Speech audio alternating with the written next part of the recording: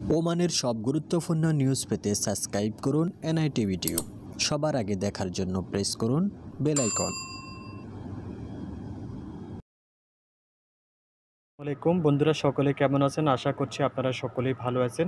যেখান থেকে আজকের ভিডিওটি দেখার জন্য ক্লিক করছেন, আপনাদের সকলকে জানাচ্ছি স্বাগতম। প্রিয় ওমান প্রবাসী বন্ধুরা, গতকালকে একটি নিউজ ছাপানো হয়েছে ওমান অবজারভারে সেখানে বলা হয়েছে, এখন থেকে প্রবাসী ভাইরা ওমান আসতে চাইলে তাদেরকে পূর্বের ন্যায় কোভিড নাইন্টিন টেস্ট সহ, মোপার অ্যাপ্রুভাল সহ এনওসি লাগবে।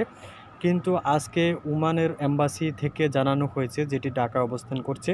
সেখান থেকে জানানো হয়েছে, এখন থেকে প্রবাসীরা আসতে এ সকল কিছু লাগবে না। আসলে বিষয়টা গুজব ছিল, একটা ভুল বোঝাবুঝির কারণে এরকম হয়েছে। মিসআন্ডারস্ট্যান্ডিংয়ের কারণে এরকম হয়েছে, তো বিষয়টা কিছুই না। এখন থেকে প্রবাসী ভাইরা, আপনারা যারা দেশে আসতে চান ওমান আসতে চান, তারা সকলে কোভিড টেস্ট এবং ইন্স্যুরেন্স করে আসতে পারবেন। চিন্তার কোনো কারণ নাই। এটি ভুল বোঝাবুঝির কারণে নিউজটা ছাপানো হয়েছে। এর পরবর্তীতে আমরা মিস মিসআন্ডারস্ট্যান্ডিংয়ের কারণে আমরাও নিউজটা করেছি। নিউজটা সংশোধন করে নিচ্ছি এবং সত্য নিউজ হচ্ছে এটি যে, আপনারা এখন থেকে আসতে পারবেন, কোনো সমস্যা না। এটি বিভিন্ন গণমাধ্যমে ছাপানো হয়েছে। বাংলাদেশি পেজ সহ, বিভিন্ন ইউটিউব চ্যানেল সহ এবং ওমানের যে গণমাধ্যম, সরকারি জাতীয় গণমাধ্যম, সেই গণমাধ্যমে ছাপানো হয়েছে এই জন্য আমরা এটি আপলোড করেছি।